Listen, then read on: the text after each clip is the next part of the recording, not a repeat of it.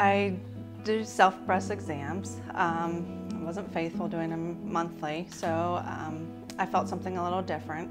It was January that I went initially in um, where I had felt something and they had sent me out to have mammogram and a sonogram to check into that, which actually came back negative. Everything came back 100% normal.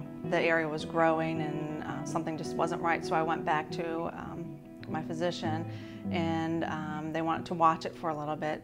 And I actually wasn't diagnosed until that November, so it was 11 months later. It was devastating. I wish I had gone 11 months earlier. It's one of those things that if I could go back and turn it back, I would. But I can't, so you just have to deal with that. and then, you know, that, that day, I'll never forget it. It was the week before Thanksgiving. We were getting ready to go away with my family. And it was the best week of my life. There was no way I was going to let cancer beat me. So I had to have um, chemo to shrink the tumor before we could do surgery. So I started chemo. Um, I went through 16 treatments um, before I had the surgery. So was December through um, April that I went through chemo and I had surgery that May. I made my decision that I just need to have a bilateral mastectomy. I don't want to take the chance of anything ever coming back or, um, like I said, I tried to put my mind to one thing and that was beating cancer and whatever I can do and I have the power to do it, I will do it to make sure that it doesn't come back. Because I had to have the um, chemotherapy and radiation, I read a lot and talked to a lot of people and came to realize that, you know, reconstruction for me wasn't something that I thought would benefit me.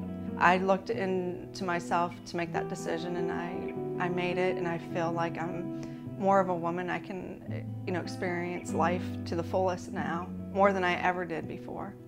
Actually, ability came to me through a friend. I met uh, Wendy, and um, she just went through different options for people that choose not to have reconstruction surgery. Um, I really had never looked into anything, you know, I never, no reason to, to look into it. Um, and it was wonderful. I just felt like this is something that's for me. I don't want to go through any extra surgeries. I don't want to put myself through any more risks. I'm done. I want to get through all of my treatments and finish up with this cancer and not go back to it. Um, Ability has given me the opportunity to have a lot of choices, to still look great, um, feel like a woman when I want to, and um, you know have a lot of opportunities and choices now. It's been um, a wonderful experience to work with um, Ability and Wendy, and it gives me a lot of hope. And I really want other people my age to know that there's so many different options out there, but you have to make sure you're making the right choice for yourself and um, be comfortable with that.